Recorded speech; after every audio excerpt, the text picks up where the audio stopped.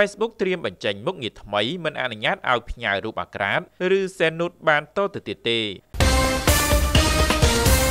មេតាបាននិយាយថាខ្លួននឹងបើកដំណើរការមុខងារសវត្ថភាពថ្មីមួយដើម្បីរារាំងកុមារពីការទទួលនិងបង្អាក់ពួកគេពីការផ្ញើរូបភាពអាក្រាតនោះរួមទាំងនៅក្នុងឆាតដែលបាន encrypted នៅចុងឆ្នាំនេះ មុខងារសវត្ថភាពថ្មីនេះទំនងជាមេតានឹងធ្វើជាលក្ខណៈជម្រើស optional ហើយបញ្ចេញវាសម្រាប់មនុស្សពេញវ័យនៅលើ Instagram និង Facebook ក្រុមហ៊ុនបច្ចេកវិទ្យាធ្វើតាមការរិះគន់ពីរដ្ឋាភិបាលនិងប៉ូលីសបន្ទាប់ពីមេតាចាប់ផ្ដើម encrypted ការឆាតតាម Messenger តាមលំនាំដើម យោងតាមមេតាមុខងារថ្មីនេះត្រូវបានរចនាឡើងក្នុងគោលបំណងតែមួយគត់ដើម្បីការពារអ្នកប្រើប្រាស់ជាពិសេសស្ត្រីក្មេងជំទង់និងក្មេងអាយុក្រោម13ឆ្នាំពីការផ្ញើរូបភាពអាក្រាតកាយឬត្រូវបានគេគំរាមក្នុងការផ្ញើរូបអាក្រាត ក្រុមហ៊ុនមេរបស់ Facebook នេះបានប្រកាសថាតាមលំនាំដើមអនិច្ចជននឹងមិនអាចទទួលសារនៅលើ Instagram និង Messenger ពីមនុស្សចម្លែកបាននោះទេពាក់ព័ន្ធនឹងបញ្ហានេះកាលពីដើមខែប៉ូលីសបាននិយាយថាក្មេងៗដែលផ្ញើរូបភាពអាក្រាតកាយបានរួមចំណែកដល់ការកើនឡើងនៃបទល្មើសផ្លូវភេទ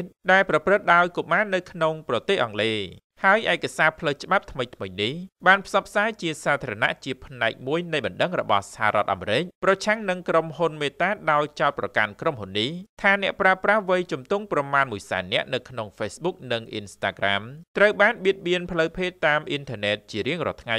អត្ថបទនេះដែរដកស្រង់ចេញពីសបាញូកាត់បន្ថយការទទួលទានសារធាតុអំបិលឲ្យបានតិចជាង5ក្រាមក្នុងមួយថ្ងៃ ឬប្រហែល1ស្លាបព្រាកាហ្វេ